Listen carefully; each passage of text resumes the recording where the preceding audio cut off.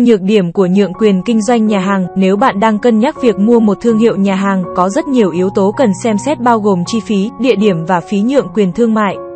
Nhượng quyền thương mại nhà hàng có nhiều lợi ích hơn các nhà hàng độc lập bao gồm tên tuổi, lịch sử thành công, sức mua và hỗ trợ nội bộ tốt hơn. Tuy nhiên, cũng có một số nhược điểm. Có rất nhiều quy tắc và quy định phí và có khả năng chi phí khởi động cao hơn. Để giúp bạn quyết định mua một thương hiệu nhà hàng phù hợp, dưới đây là những ưu và khuyết điểm, ưu điểm kinh doanh ngay lập tức. Sở hữu một nhà hàng nhượng quyền thương mại bạn sẽ được kinh doanh ngay lập tức. Bạn không phải lo lắng về tên, trang trí, thực đơn hoặc tiếp thị. Nó đã có tất cả. Hỗ trợ, một nhà hàng nhượng quyền sẽ đi kèm với sự hỗ trợ từ trụ sở chính. Nếu bạn có câu hỏi hoặc quan tâm, bạn có thể yêu cầu họ.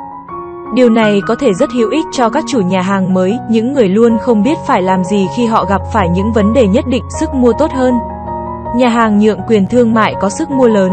Thực phẩm và đồ trong kho khác có thể được mua rẻ hơn rất nhiều so với nhà hàng độc lập tại địa phương. Được công nhận tên nhà hàng Tên nhà hàng được công nhận là lợi ích rất lớn đối với một thương hiệu nhà hàng. Bạn không cần phải lo lắng về chi phí ban đầu cho việc quảng cáo Adolf Brand, nhược điểm tiền bạc. Tiền hoặc thiếu tiền là nhược điểm chính của nhượng quyền kinh doanh nhà hàng. Nhiều người trong số những chuỗi nhà hàng lớn đòi hỏi ít nhất 1 triệu đô la trong tài sản. Trước khi họ xem xét cho phép bạn mua công ty của họ. Theo đó thì tất cả tiền đầu tư ban đầu của bạn trở lại sớm hơn khi bạn bắt đầu một nhà hàng độc lập thiếu tự do sáng tạo. Bạn không có tiếng nói trong menu, trang trí hoặc các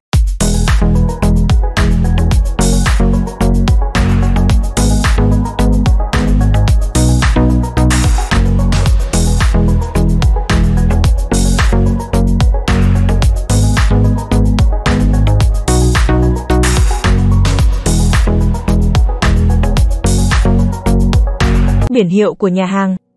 Nếu bạn có một chủ đề nhất định hay ý tưởng trong tâm trí, nó có thể không khớp với nhà hàng nhượng quyền, rất nhiều luật lệ. Để duy trì một chất lượng nhất định phục vụ khách hàng liên tục ở mỗi vị trí, nhượng quyền thương mại có nhiều quy tắc và quy định kèm theo.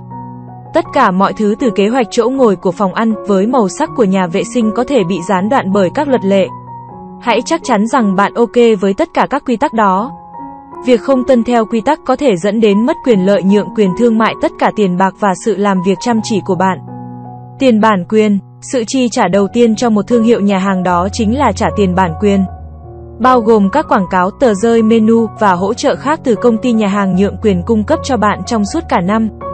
Hãy chắc chắn phụ phí thêm của nhượng quyền thương mại nằm trong ngân sách của bạn. Về cơ bản, quyết định mua một thương hiệu nhà hàng mở nhà hàng độc lập sẽ phụ thuộc vào túi tiền của bạn và cá tính của bạn. Nếu bạn cảm thấy thoải mái làm việc với một đội ngũ nhân viên, được nói những gì và làm thế nào để làm điều gì đó, một nhà hàng nhượng quyền thương mại có thể là bước đi đúng đắn cho bạn.